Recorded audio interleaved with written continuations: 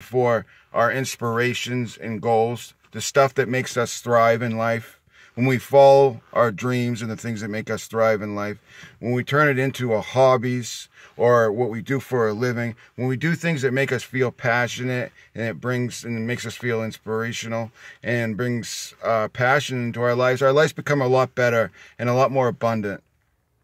It's so big to remember that that voice up in our in our head that's telling us they're not good enough is based on our, our past experiences and it's not true 95% of what we think about ourselves if we're not practicing mindfulness and we're not aware is from our past experiences. This is why so many of us walk around for so long thinking we're not good enough because we, we judge ourselves, we compare ourselves to others, and we think about things in the past that we've done to ourselves to harm ourselves or maybe hurt other people.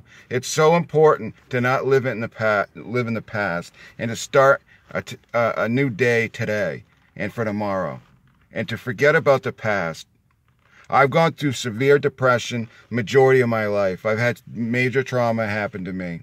My father was killed in an accident and a lot of other things have happened. I suffered from severe depression for years. I no longer suffer from these things because I practice in manifesting mindfulness and I follow my uh, passions in life.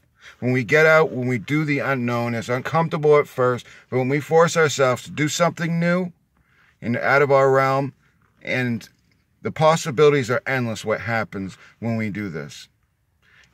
When we get out and we start living life to the fullest. When we tell ourselves, yes, we can. When we get out of our own heads. When we are able to start being more aware, consciously aware of the negative thoughts in our mind or any uh, thing that's holding us up. When we, when we start venting to the ourselves or to someone else what's holding us back when we're able to get off the couch, when we're able to coach ourselves to get outside in that fresh air, go for that little walk that's going to bring us a lot more joy and happiness. There's so much beauty in the world around us, and there's so much inspiration, and there's so many things that we can do in our lives. And when we're able to start figuring that out, we're able to start realizing what really matters is today and what we're doing. When we start following our passions, it's so important to have passions and hobbies to get us out of bed, stuff to look forward to in life.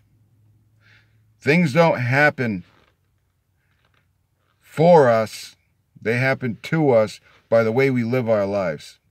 When we start living our lives with more happiness and joy and with an open heart, and we stop judging ourselves and other people, life starts to become so much more fruitful. I can't get across how important it is for us to all to start getting out of our own minds, getting out of our own ways. Because that's what holds us back is the way we think. When we stick to thinking positive and embracing new things and people, and when we switch things up and start being more open minded and kind and giving to others, it brings so much more joy and happiness into our lives. And using gratitude is very big. Gratitude is huge. When we start being more grateful for things, being more grateful for what we have instead of what we don't have, is when we end up with having more to be grateful for. I hope you have a great day. Please subscribe. Write to me if you have any questions. Um, take it easy. Bye.